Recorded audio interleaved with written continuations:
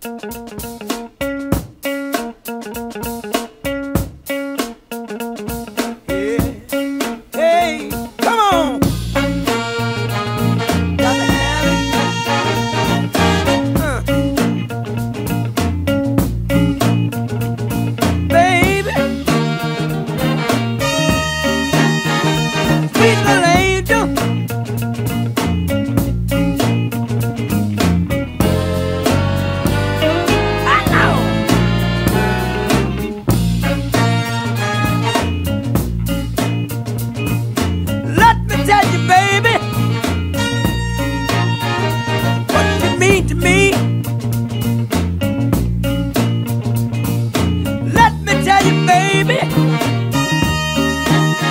what you mean to me.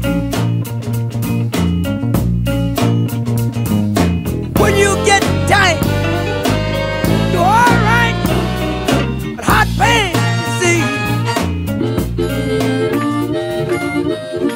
see. Neighbors have been rocking this front porch on East 75th Street in Cleveland with some Motown hits. So deep in the pit of my heart, and each day grows more and more. On this evening, despite some rain, the crowd stuck around, and so did the good times. The pie, honey bun. You know that I wait for you. The neighbors call it a Leo's listening party. It was not the answer. But what's behind that name? Leo? Who's Leo? What's Leo? It's a tribute to a legendary Cleveland music venue, Leo's Casino, which stood just down the street from this East 75th Street home. We went to the Rock and Roll Hall of Fame for a history lesson. Leo's Casino was owned by a man named Leo Frank, who first started a jazz club on Central Avenue and East 49th from 1952 to 1962 when it unfortunately burned in a fire. Then he partnered with a man named Jules Berger in 1963, and they moved the club into a space in the Quad Hotel on Euclid Avenue at 75th. Leo's Casino crowds saw the biggest acts in R&B and jazz. The O'Jays, Dionne Warwick, The Temptations, you name it. The Rock Hall honored Leo's with an historical landmark plaque in 1999, and it was the first venue inducted into the Rhythm and Blues Hall of Fame in 2013. Leo's was a stepping stone to a lot of entertainers. That's Freddie Arrington. He was the Leo's Casino MC extraordinaire. But Half the time I thought the club was mine to pay payday, then I realized that I, I didn't own it. Arrington described Leo's as a black and tan club, meaning everyone was welcome no matter the color of your skin. We didn't separate anybody from anything. And you would meet people that you, you would never come in contact with them. Was the integration intentional? Yes and no. Because uh, I'd say yes because we didn't reach for black entertainment only, we reached for entertainment. And that's what we wanted, what the people liked. I get on the stage and I'll tell people in a minute, say, hello to your black and white brother. The only color we recognize in here is green. And we meant that. Well, we recognize the green now.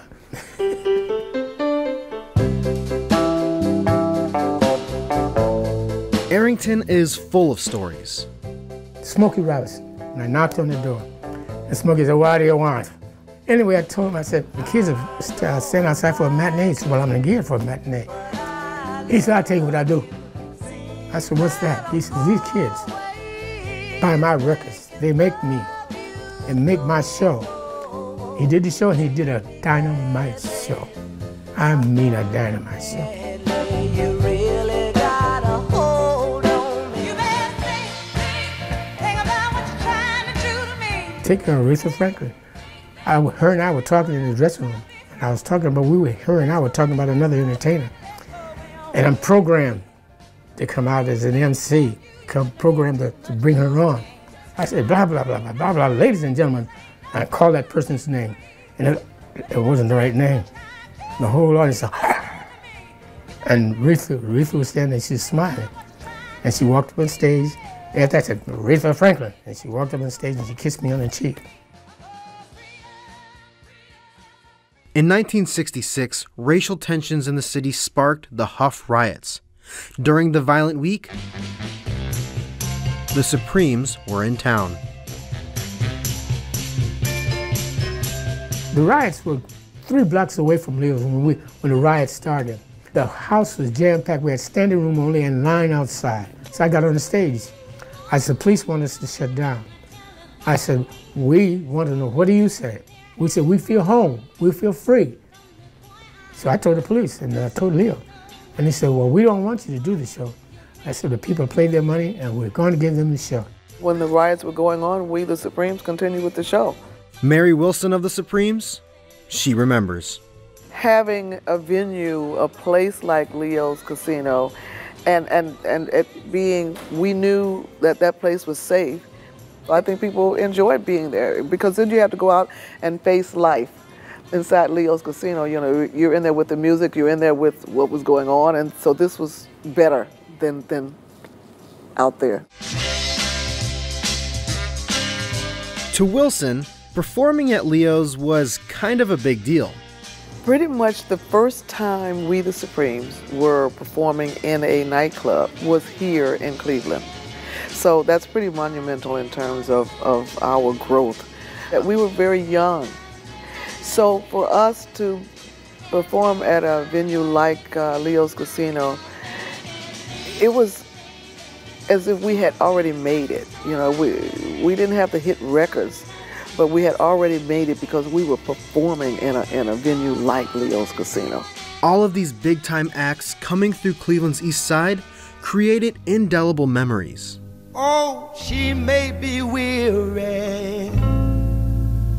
Them young girls, they do get wearied. I was very excited because here I'm on my first date, and plus I'd never been to a club before, so I had all kinds of exciting things going for me. Before retiring, Ruthie Brown worked for the Rock and Roll Hall of Fame. Her hard work brought the museum's dedication ceremony to Leo's Casino in 1999, but she also visited Leo's much, much sooner. I didn't realize at the time how important that photo was going to be. And that was our first date, and that's what brought me to, Julio's. It must have gone pretty well because we celebrated 50 years of marriage last April. Unfortunately, the memory making came to a halt.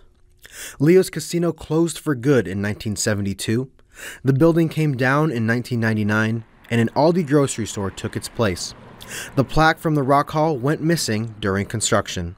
Leo's Casino stood in the Hough neighborhood, more specifically, its Ingleside Historic District.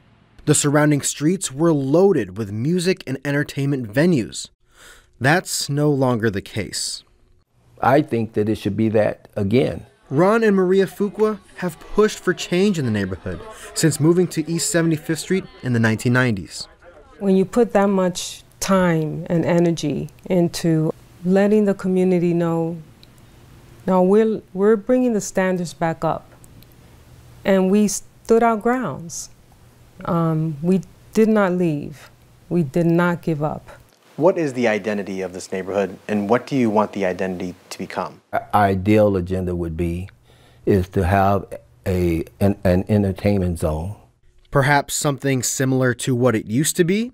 Gabriel, I think people are hungry for for entertainment in this area. I really do. I think if the, if the right circumstances are put together, and I'm not saying that we are the right people for for the task. I'm not saying that.